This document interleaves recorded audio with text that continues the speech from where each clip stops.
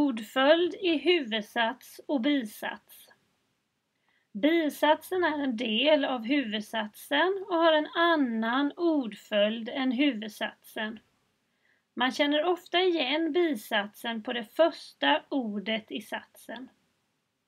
Bisatsen brukar ofta inleda eller avsluta huvudsatsen. Här kommer några exempel. Jag kommer när jag är frisk. Jag, subjekt. Kommer, verb. Och bisatsen när jag är frisk på adverbialsplats.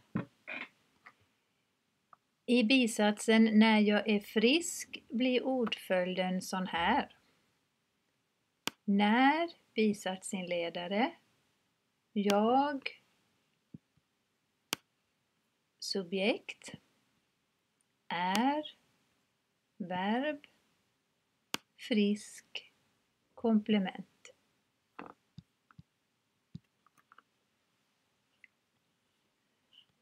Jag kommer inte därför att jag är sjuk.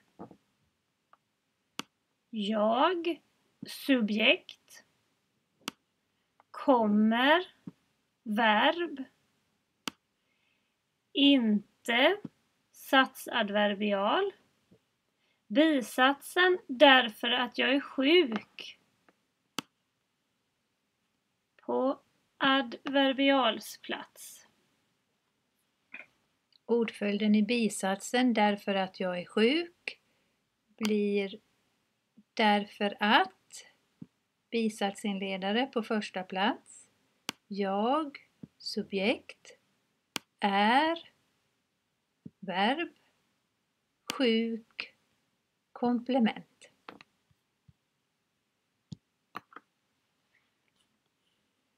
Jag kommer om jag har tid.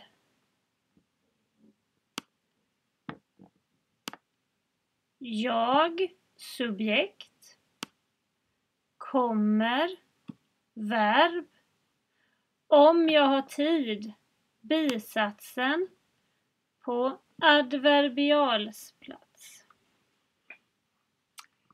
Om jag har tid.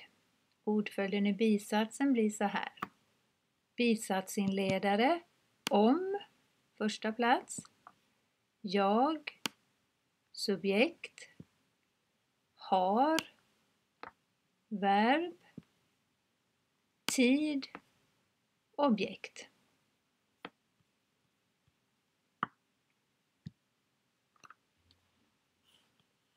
När skolan slutar idag ska jag åka till Maxi. Här börjar vi med bisatsen när skolan slutar idag. Fundamentsplats. Ska, verb. Jag, subjekt. Åka, verb. Till Maxi, plats. I bisatsen blir ordföljden sån här. När bisatsinledaren först. Skolan subjekt. Slutar verb.